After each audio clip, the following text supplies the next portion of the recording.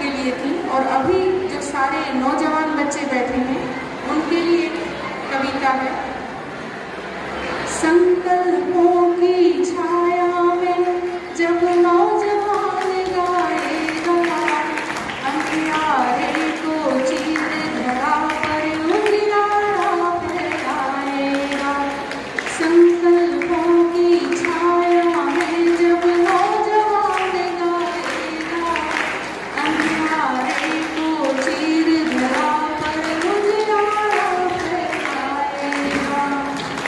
से वतन की